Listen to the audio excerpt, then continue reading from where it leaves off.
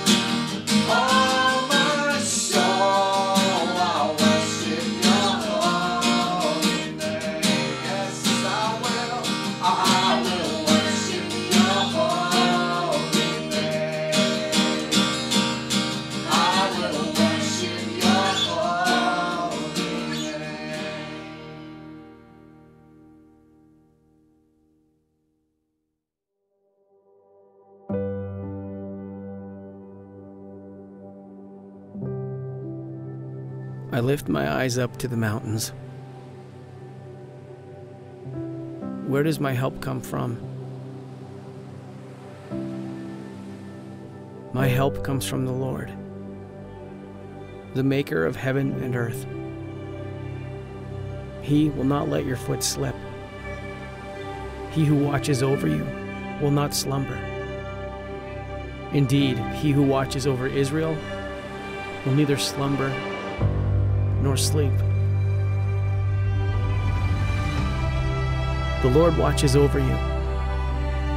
The Lord is your shade at your right hand. The sun will not harm you by day, nor the moon by night. The Lord will keep you from all harm. He will watch over your life. The Lord will watch over our coming and going, both now and forevermore.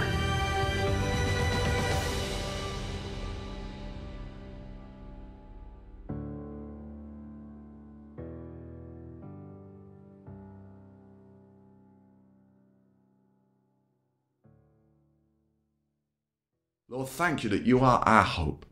You don't sleep or slumber, you're watching over us. Meet with us as we continue together now by your Spirit. Amen. As I said at the start, thanks for joining us. It's great to see you today. If you have questions about our church you'd like to know more, do get in touch. You can find full contact details at the end of the video. Or why not connect with us, reach out to us on social media, just search for South Norwood Baptist Church. And don't forget like and subscribe. That way you won't miss any content we put out. Content we put out maybe changing a bit over the next few weeks. So keep your eye on this channel so you don't miss out. As well as this online worship, we have a physical building in South Norwood. If you're in our area, we'd love to connect with you. Gather there from 10 on a Sunday to worship together. As a local church, we exist solely by our church family.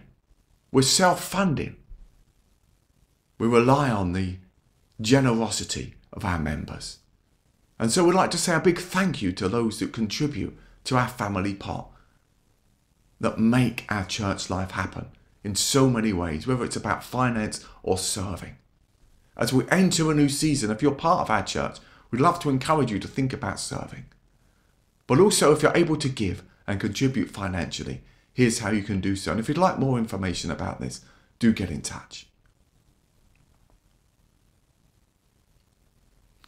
We're going to take a few moments to pray now, and then we're going to hear our Bible reading. Today's Bible reading is from the Gospel of Mark. Father, we thank you know what is going on in our lives. Lord, you know our joys and our sorrows, our hopes and our fears. In the quiet, we offer ourselves to you now, asking that you will come meet with us, whatever we're walking through.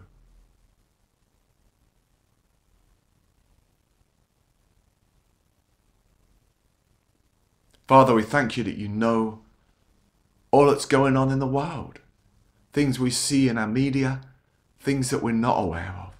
Lord, we cry out to you for peace. We cry out to you for justice. Cry out to you for a cease and end of war whether that's in Israel and Palestine, in Ukraine, and in other nations. We pray that we will be moved with compassion. Pray that your kingdom will come.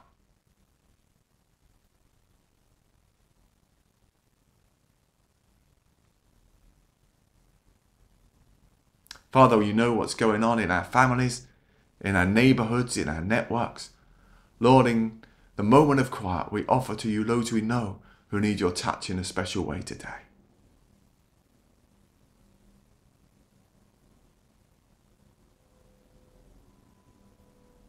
Father, draw close, comfort the bereaved, the needy, the sad, the lonely. Encourage those who need encouragement, heal the sick. Lord, do what only you can do that you may get the glory. And we say, Our Father who art in heaven, Hallowed be thy name, thy kingdom come, thy will be done on earth as it is in heaven. Give us this day our daily bread and forgive us our trespasses as we forgive those who trespass against us. And lead us not into temptation, but deliver us from evil. For thine is the kingdom, the power, and the glory, for ever and ever. Amen. Jesus announces the good news. After John was put in prison, Jesus went to Galilee proclaiming the good news of God. The time has come, he said. The kingdom of God has come near. Repent and believe the good news. As Jesus walked beside the Sea of Galilee, he saw Simon and his brother Andrew casting a net into the lake, for they were fishermen. Come, follow me, Jesus said, and I will send you out to fish for people. At once they left their nets and followed him. When he had gone a little further, he saw James, son of Zebedee, and his brother John in a boat preparing their nets. Without delay he called them, and they left their father Zebedee in the boat with the hired men and followed him. They went to Capernaum, and when the Sabbath came, Jesus went to the synagogue and began to teach. The people were amazed at his teaching because he taught them as one who had authority, not as the teachers of the law. Just then a man in the synagogue who was possessed by an impure spirit cried out, What do you want with us, Jesus of Nazareth? Have you come to destroy us? I know who you are, the Holy One of God. Be quiet, said Jesus sternly. Come out of him. The impure spirit shook the man violently and came out of him with a shriek. The people were all so amazed that they asked each other, What is this? A new teaching, and with authority? He even gives orders to impure spirits, and they obey him. News about him spread quickly over the whole region of Galilee. Last week we introduced our theme for 2024 fixing our eyes on Jesus. Comes from the book of Hebrews, where they say we're going to fix our eyes on Jesus, the author and perfecter of faith. Challenged not to be distracted, not to go back, but to run the race. You can catch up on teaching on that on this channel and the midweek thought. What are you looking at that explores that theme? But as I said then, if we're going to fix our eyes on Jesus, we need to be sure that we're fixing our eyes on the real Jesus. And the best way to do that is through the accounts of his life, his character, his teaching, his death and resurrection that we read in the Gospels. Prayerfully, in the power of the Holy Spirit, that our eyes might be opened. And so today we're beginning this series, Meeting Jesus, thinking about stories of Jesus from the Gospels. Today's reading was from Mark's account of Jesus, and Mark doesn't give us Christmas, which is a shame because I quite like Christmas. But Mark jumps in, he said this is about Jesus, the Son of God, and then he starts talking about John the Baptist. The reason is John is pointing to Jesus. John is not the main character, but Jesus is the one who will baptize, he says, with the Holy Spirit. And so our reading begins by linking back to John the Baptist as after John was put in prison, Jesus began his earthly ministry. He started his public work. We're going to focus on two things Mark wants to teach us about Jesus and two responses we see from those he encounters in the verses that we heard. The first thing we see about Jesus might be easy to miss, but it's this that Jesus is the fulfillment of what has gone before. That's what Mark wants us to see. That the story of Jesus is not told in isolation. Mark makes clear, as we already said at the very start of his gospel, that he's writing about Jesus, the Messiah, the Christ, the Son of God. And then he links back to the prophet Isaiah. This is something we see in the Christmas narratives in the other Gospels. We saw it in our Christmas services. Matthew said a few weeks ago we explored this that everything that took place around the birth of Jesus was to fulfill what the prophets had spoken. And all of this finds a weight in the words of Jesus himself, his announcement. The time has come. Repent and believe the good news. The kingdom of God has come near. Now, if you were to say that to people today outside of church context, that might sound strange. The time has come, the kingdom of God. These are not words we naturally understand in our context. But his first hearers would have grasped that. That this resonated with the Old Testament expectation that God would come to save his people, the Messiah would come.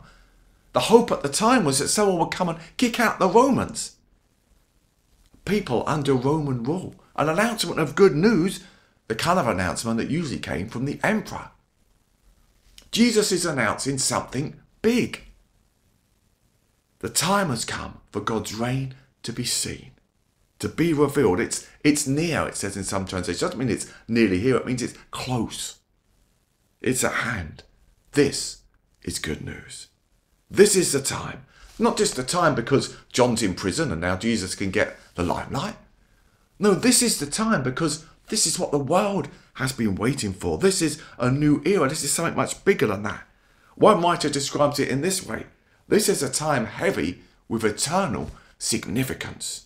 Something new is here in a turbulent time and a turbulent place, a place of conflict and busyness and racial tension. We can often think that this takes place in Galilee and it's all serene, but this was a turbulent time in the Middle East. Sounds familiar, doesn't it? A place of foreign occupation. Here's an announcement good news gospel. Everything the people have been waiting for, everything the world needed, has come. It finds its fulfillment in Jesus. The King has come, his reign has started. The appropriate time, the right time, has come. A new era. One commentator suggests these verses could be read like this The time has been fulfilled with the result that God's reign has drawn near. Jesus is the one, the fulfillment. God come down. The King has come. The one the world is waiting for. That's the first thing Mark wants us to see. Jesus is announcing the kingdom has come. Fulfillment. Secondly, though, throughout these verses is this linked idea of authority. Here is someone with authority, but not the authority that they were used to seeing from the Romans or the religious leaders. A different kind of authority. We first see this when Jesus calls his disciples. Usually, if you wanted to follow a rabbi, a teacher, grow in your understanding, you found a rabbi you liked, you kept your job, and you studied under that rabbi. You went and learnt from them. But here, Jesus does it differently. He walks along, he sees these fishermen, these pairs of brothers, and he says to them, Come, follow me. And they do. It's the other way round at once, which is one of Mark's favourite phrases in his gospel. They leave everything and follow Jesus. They leave family and tradition and businesses that have been theirs for generations. You didn't change career, you kept in the family path. They left the workers in the boat, they left their family behind. There must have been something about Jesus for this to happen. One commentator says, without difficulty, Jesus attracts disciples to an itinerant life devoid of earnings. When you put it like that, it doesn't sound very appealing, does it? Can you imagine you're doing your day to day stuff and this guy comes along and he says, Come and follow me. You're going to fish for people, You're going to turn your life around. I wonder how you would have responded. Forward to the next story that we read, and Jesus is in the temple. No, he's not. He's in the synagogue in Capernaum teaching. And what do we see? It says the people are amazed at his teaching because he taught as one who had authority, not as the teachers of the law. Usually, their teachers of the law would have said, or Moses said, or Rabbi such and such said. Maybe, but like I do, this commentator says, this person says.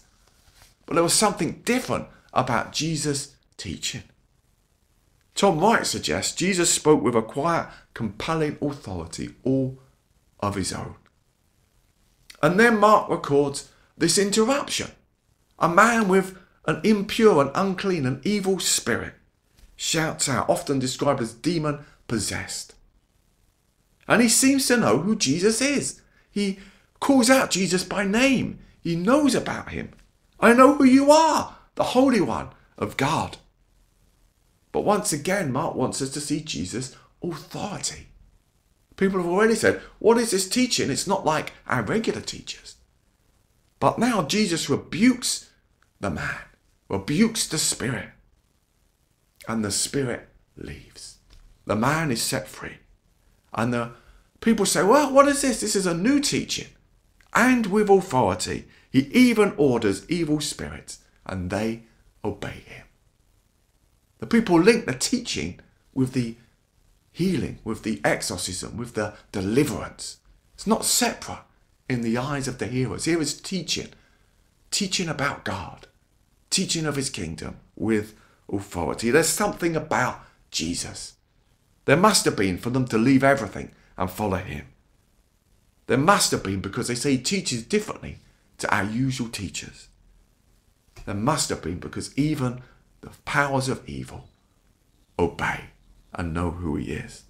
He has authority as the Son of God, as the Word made flesh. Both people and evil forces are confronted because God's kingdom is here. The King has come. This is what it looks like when God is in charge. God's reign, His power is here. Jesus not only spoke about the kingdom of God, He lived it, He demonstrated it. The next story in Mark's Gospel is another healing you can read as you go on. The sick are healed, the lost are found the oppressed are set free. There is welcome and inclusion. Jesus is in town. God is at work. He was teaching, but not just words, power. Mark wants us to see the authority of Jesus. He is the fulfillment, He is the bringer of the kingdom of God, and He has the authority as the King. One writer says every detail in the text piles on Jesus' authority. The kingdom of God has arrived the Messiah has come. One writer says a king has arrived who rightly demands that we follow and radically obey him. But what is the response of the people? Well, firstly, the response of the fisher people, the fishermen, these brothers, Peter and Andrew, James and John. Well, they leave everything, don't they, and follow Jesus. Jesus invites them. This is not normal to leave everything behind, as we said. You don't just pack up your stuff and leave your family. But without delay, they follow Jesus. This seems to be the embodiment of responding to Jesus' announcement. Turn around, repent. Kingdom of God is here, believe. They believe not just by saying, oh, we think that might be true. It's an action, it's faith. That's the first response. They follow. It's active. But a second response we see in the crowd, and that is amazement. Mark also highlights that response. He says twice in the passage we heard using two different words. Verse 22, they are amazed or awestruck, knocked out by the teaching. It's so different. It's amazing. Verse 27, after Jesus rebukes the evil spirit, they are amazed. One translation says amazement gripped the audience. The news about Jesus spread quickly over the whole area. Even in a world without social media, the news spread. Something different is here. There's this sense of wonder and awe.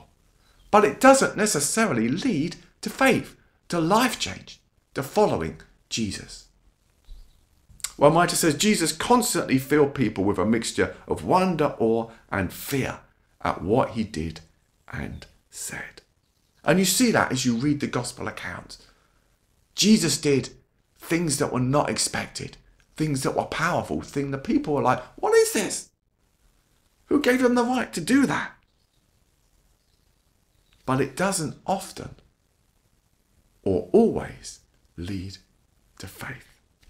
Sometimes we see Jesus' authority brings up negative reactions and not just from the demons and evil spirits. So, fixing our eyes on Jesus who is Jesus to you today? In the opening of Mark's Gospel, he wants us to see who Jesus is. He is the Messiah, the Son of God, the fulfillment of the Old Testament hope. The time has come, the kingdom of God is here.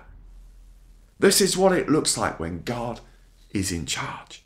Here is the one who can set people free. Heal the sick, forgive sins. We'll come to that. Offer new starts. And Jesus is the same today. He's not physically with us, but by his Spirit. All those things are still happening. And we are his body, the church. But how will we respond? Maybe in anger. Some respond in anger. Some are bored. Seen it all before, not interested. Some are amazed, but does it lead to faith? Does it lead to putting our trust, staking our lives on Jesus? The Saviour of the will we repent, change our mind, turn around, leave our old ways. Knowing here is one we can believe in. And belief means commitment. One cannot truly believe without commitment, says Donald English. Maybe today is the day you need to go all in and follow Jesus. If we are followers, may we know him more. May we see him afresh. He is the fulfillment. He is the authority. He is the Lord. Let's pray. Lord, open the eyes of our heart. We want to see you. May we know you are the fulfillment, the hope of the world. You are God, the Word made flesh. You have the authority. We yield to you today. May we not just be amazed, but may we follow you.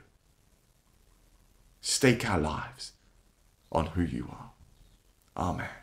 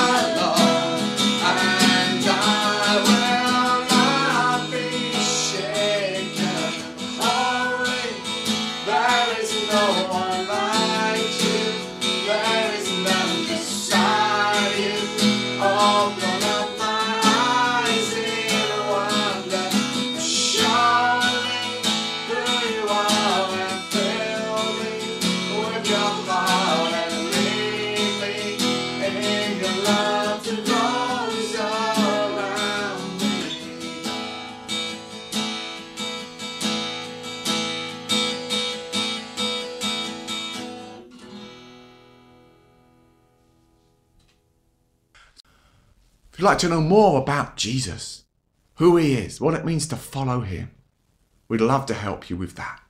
Do reach out to us. Gonna pray a blessing. Lord, may we have our eyes open to see you, King Jesus. Hearts set on following you.